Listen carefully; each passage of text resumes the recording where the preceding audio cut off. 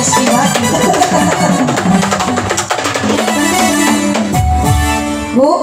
masih lanjut bisa sediakan ambulan nanti Bu kasihan program kita